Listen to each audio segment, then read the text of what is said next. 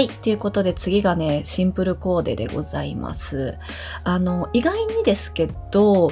このデニムジャケットとホワイトのボトムスの相性ってめちゃくちゃ良くて、こう合わせる時にね、カラーバランスどうしようって思った方はぜひ白のパンツを使ってほしいです。そして、こうリュックとデニムのジャケットの相性も良いんですよ、実は。なので荷物が重い学生さんとかは、こういう感じのリュックとね、デニムジャケットの相性でいいんじゃないかなと思います。そして最後にこういうデニムのね、中に着るものなんですけど、ボーダー以外にあのパーカーとかもおすすめなので、やってみていただけたらと思います。では、ネクスト。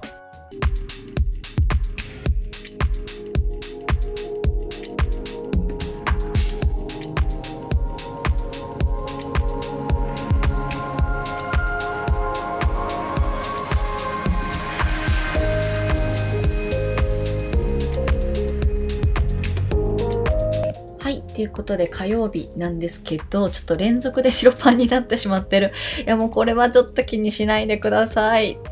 はい。で、えっと、今回はね、実は上下ともオフホワイトのトップスとボトムスで、上にあのネイビーのカーディガンを合わせてます。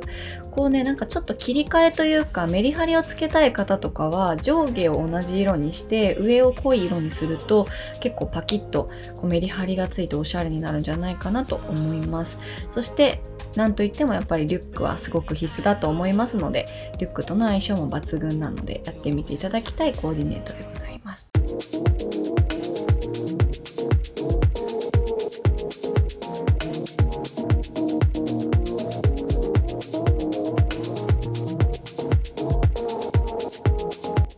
はい。っていうことでね、これも結構好きです。あの、以前紹介したライナーのアウターを使ったコーデなんですけど、あの、ライナーのにこういうちょっとね、さらっとしたプリーツスカートの相性はね、抜群なのでやってみていただきたいです。結構ね、あの、大学って意外にちょっとカジュアルなイメージがあるんですけど、こういう感じローファーとプリーツスカートで合わせて、ちょっとフォーマルな形でもいいんじゃないかなと思います。ここはね、ちょっとトートなイメージがあると思うんですけど、私はリュックを貫きますよ。もうね、学生といえば私はリュックなイメージが強いので、押します。はい。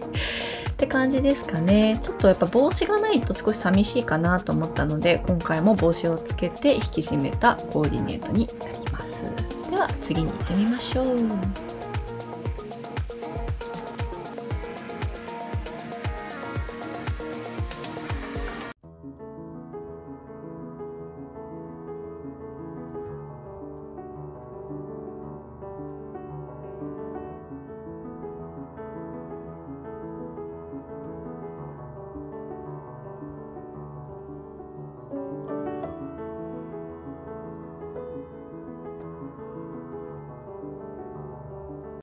はい、これツートンコーデにしてみました。あのトレンチコートのね、色とボトムスの色を合わせてみたんですけど、いかがでしょうか？結構これマニッシュというかファッジ好きな方とかにはものすごく相性がいいコーデなんじゃないかなと思っています。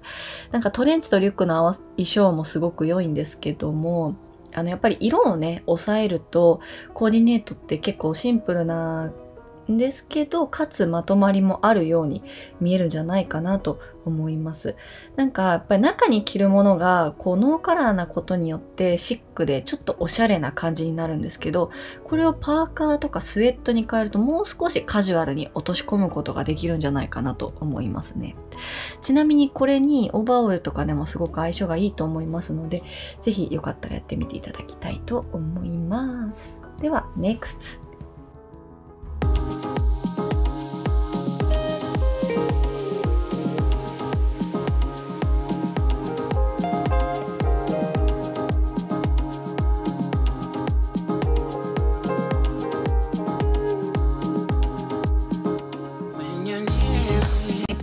はい、突然の犬が登場、稲穂くんですね。はい。ってことでね、今回はほんとドシンプルですね。あの、何度か出てるモリスのね、トップスにリノのボトムスです。結構ね、こういうカーゴのパンツのボトムスってカジュアルすぎるイメージがあるんですけど、ローファーで合わせることによってね、ちょっとこう、クラシックなイメージにできますよね。で、今回も先ほどのコーデと同じで、ツートーンで合わせてみました。ちょっとローファーは色違うんですが、黒と白、そしてリュックですね。まあ、ちょっとストリートまではいかないんですけども結構シンプルな感じで大学行くのもいいのかなと思いますのでこちらも合わせていただきたいと思います。はい。ということで本日もご視聴ありがとうございました。また次回の動画でお会いしましょう。高評価コメントお待ちしております。